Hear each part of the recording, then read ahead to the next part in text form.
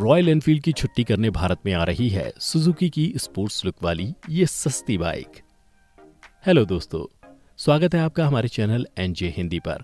आपको पता ही रहेगा ऑटोमोबाइल इंडस्ट्री में रॉयल एनफील्ड ने काफ़ी लंबे वक्त से झंडे गाड़ रखे हैं। अब इसको कड़ी चुनौती देने सुजुकी भारत में लॉन्च कर रही है एक स्टाइलिश बाइक जी हाँ हम बात कर रहे हैं सुजुकी कटाना बाइक्स की। जब से ऑटो एक्सपो में इस बाइक की झलक लोगों तक पहुँची है, तब से अब तक हर कोई युवा यही उम्मीद लगाया बैठा है कि कब भारत में सुजुकी कटाना लॉन्च होगी। तो बने रहिए हमारे साथ, क्योंकि आज हम आपको इस बाइक की कीमत और लॉन्च डेट तक की हर ज़रूरी बात इस वीडियो में बताने वाले हैं। तो चैनल को सब्सक्राइब कर लीजिए और बेल का आइकन भी दबा दीजिए, ताकि आप कोई भी वीडियो कभी भी मिस ना करें।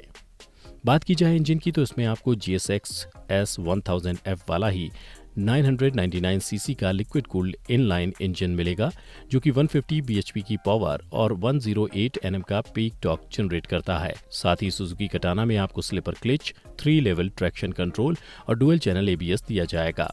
अगर हम बात करें कि भारत में ये बाइक कब लॉन्च होगी तो हम आपको बता दें कि कंपनी के प्रबंध निदेशक कोईचिरो हिराओ ने कहा है कि हम सुजुकी कटाना को इस साल 2020 में लॉन्च नहीं करेंगे, बल्कि ये पक्का है कि आने वाले 2021 के मध्य तक हम भारतीय बाज़ार में इस बाइक को लॉन्च कर ही देंगे। है ना, दिल खुश कर देने वाली खबर? खैर, बात करें कीमत की तो इसके बारे में अभी तक कोई खुलासा नहीं हुआ है, मगर जानकारी मिलते ही हम आपको ज़रूर बताएँगे। क्या आप भी लॉन्च होने के बाद सुजुकी की इस स्टाइलिश बाइक को खरीदना चाहोगे या नहीं?